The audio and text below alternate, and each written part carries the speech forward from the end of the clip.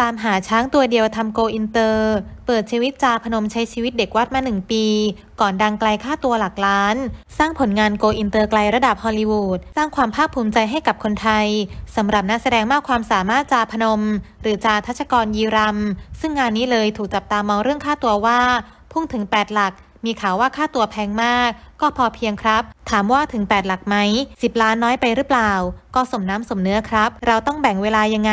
ถ้ามีงานก็บินไปอย่างที่ผมเพิ่งกลับมาจากประเทศจีน ถึงเวลาทำงานก็ทำ ถึงเวลาเสร็จก็กลับ ช่วงนี้ก็เป็นงานบุญมากกว่าตอนนี้ ได้มีโอกาสมาชาร์จแบตชาร์จพลังงาน อยากเจอผมก็ไปเจอที่วัดชินวรราม ผมพายเรือรับบาตรตั้งแต่6โมงถึง7โมงเช้าทุกวัน ใช่ครับ เป็นเด็กวัดไปหนึ่งปีแล้วครับ เราคิดว่าอยู่ 3 อย่าง ชาติศาสนาพระมหากษัตริย์ อย่างชาติเรา ไปทำหน้าที่ คือเอามวยไทยไปเผยแพร่ที่ต่างประเทศ ศาสนาคือการบำรุงพระศาสนา ก็คือไปพายเรือออกกำลังกายก็ยังได้บุญ พระมหากษัตริย์ ก็คือเดินตามรอยท่าน มีกำลังใจ มีพลังใจเวลาเราท้อเราเหนื่อย